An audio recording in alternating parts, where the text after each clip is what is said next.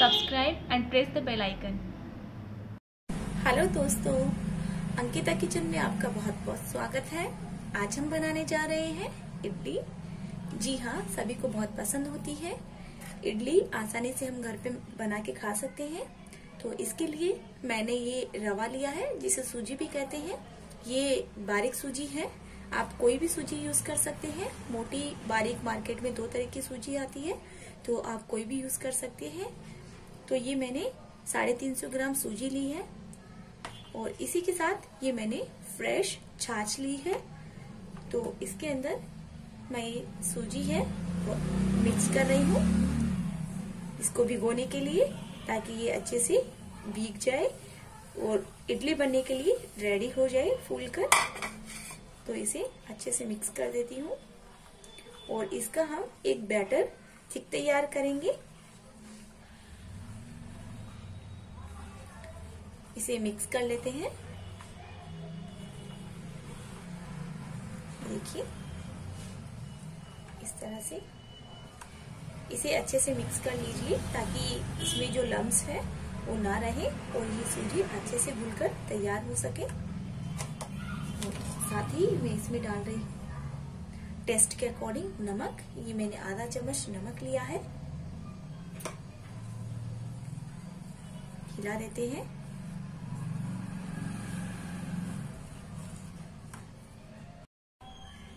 ये देखिए, ये कुछ इस तरीके का बैटर बन गया है बट ये थोड़ा गाढ़ा है तो मैं इसमें थोड़ी सी छाछ और मिक्स कर रही हूँ। अगर आपको लगे कि ये थोड़ा गाढ़ा बन चुका है तो आप थोड़ी सी छाछ और ऐड कर दीजिए अच्छे से, और आप चाहें तो इसे दही में भी भिगोकर सूजी को और रख सकते हैं, और उसे दही में भी बना सकते हैं। तो ये देखिए, इस तरह का ये बैटर बन चुका है। मैं थोड़ी सी और ऐड कर रही हूँ। क्योंकि हम इसे कुछ टाइम के लिए रेस्ट पर रखेंगे। करीबन आधा पौन घंटा। तो तब तक ये फूल कर अच्छे से तैयार हो जाएगी और ये जो छाछ है, उसको भी अपने अंदर ऑब्ज़र्व कर लेगी। इसलिए मैं इसमें इसी तरह का बैटर बना रही हूँ। ये देखिए, इसकी जो कंसिस्टेंसी है, वो कुछ इस तरह की है। तो आपको भी बिल्कुल इसी तरह का रखना है। तो अब मैं इसे ढककर और करीब 40 मिनट के लिए फूलने के लिए रखूँगी। उसके बाद आपको इडली बनाकर दिखाएँगे। चेक कर लेते हैं, हमारा बैटर तैयार हुआ है या नहीं। ये देखिए, बिल्कुल परफेक्ट बन के तैयार हो गया है और रवा भी काफ़ी अच्छे से फूल गया है।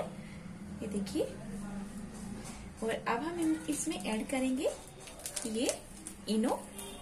मैंने इनो के दो पाउच लिए हैं, दो पाउच में इसमें डाल दूँगी। आप चाहें तो इसमें आधा चम्मच बेकिंग पाउडर और आधा चम्मच बेकिंग सोडा डालकर इनो की जगह यूज़ में ले सकते हैं। उससे भी काफ़ी अच्छी इडली तैयार होती है। इनो में इसलिए डाल रही हूँ क्योंकि इसे काफ़ी अच्छा फ्लेवर आता है और इडली भी हमारी काफ़ी अच्छी बनकर तैयार होती है।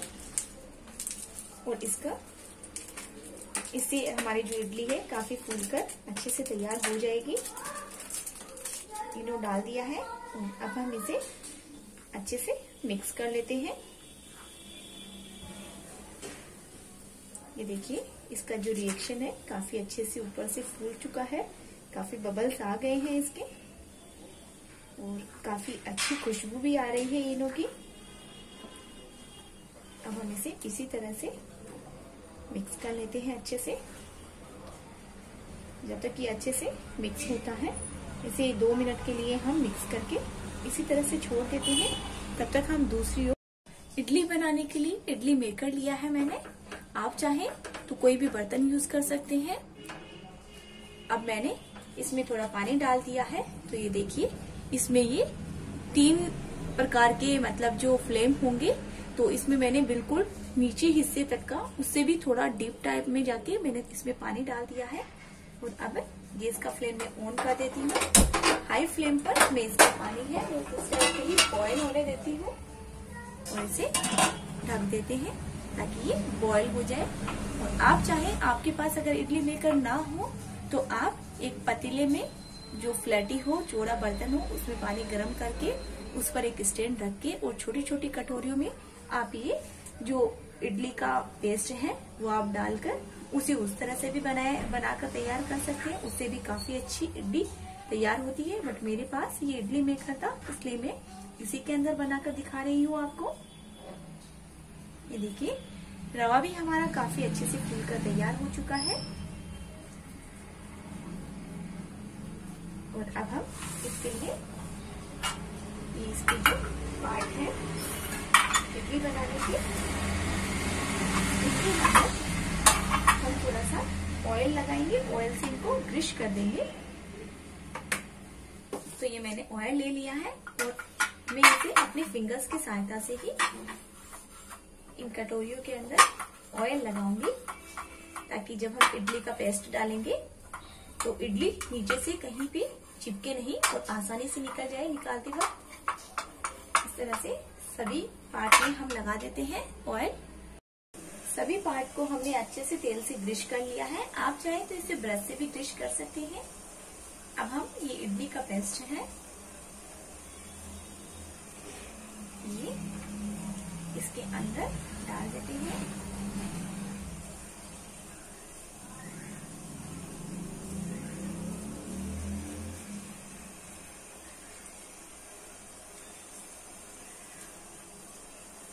सभी मैं इसी तरह से डाल दूँगी। के अंदर हमने इडली डाल दी है। इडली का जो पेस्ट है, वो डाल दिया है।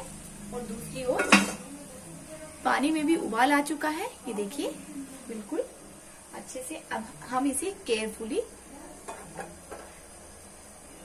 इन सभी पार्ट को मेकर के अंदर रख देते हैं। और इसे ढक देते थे। और अब इसका हाई फ्लेम पर हम इसे दो से तीन मिनट के लिए इसी तरह से चलने देंगे, पकाएँगे, ताकि हमारी जो इडली है वो अच्छे से बनकर, फूलकर तैयार हो जाए। और बीच बीच में हम इसे खोलकर चेक करते रहेंगे। तो मैं आपको दिखाती हूँ। बीच में एक बार इसे चेक कर लेते हैं। ये देखिए, ये नाइफ है। तो इस तरह से हम इसे चेक करेंगे। ये चारों तरफ़ से तो अच्छे से पक गई है, लेकिन ये बीच से थोड़ी सी हल्की सी सॉफ्ट है। तो मैं इसे करीब 20 सेकंड के लिए और पकाती हूँ।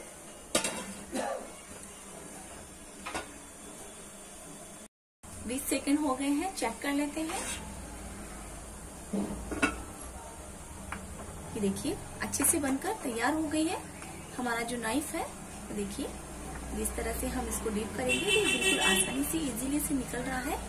देखिए, बिल्कुल अच्छे से बनकर तैयार हो गई है। गैस का फ्लेम लो कर देते हैं। और हम इसे केयरफुली होके इसके सारे जो पार्ट्स हैं, उन्हें हम निकाल लेते हैं इस तरह से।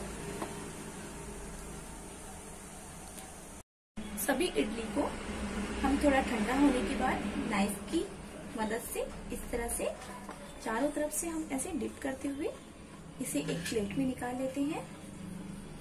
देखिए, बिल्कुल अच्छे से बनकर तैयार हो गई है। सभी को हम एक प्लेट में निकाल लेंगे इस तरह से। बिल्कुल इजीली निकल रही है। देखिए, नीचे जरा भी ये चिपकी नहीं है।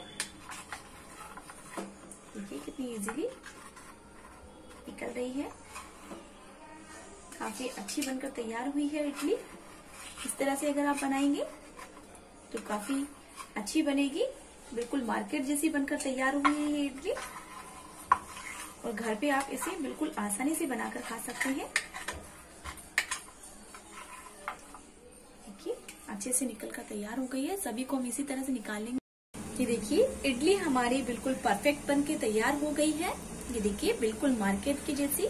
आप इसे नारियल की चटनी, सॉस या फिर सांबर के साथ खा सकते हैं और ये सभी को बहुत पसंद आएगी। इस तरह से अगर आप बनाकर खाएँगे तो और अगर आपको हमारी ये रेसिपी अच्छी लगी हो तो हमारे चैनल को लाइक से सब्सक्राइब करिएगा, साथ ही बेल आइकन का बटन है उसे भी प्रेस करिएगा, ताकि आने वाले वीडियो की नोटिफिकेशन आपको मिल सके। मिलते हैं हम अपने नेक्स्ट वीडियो में। Bye friends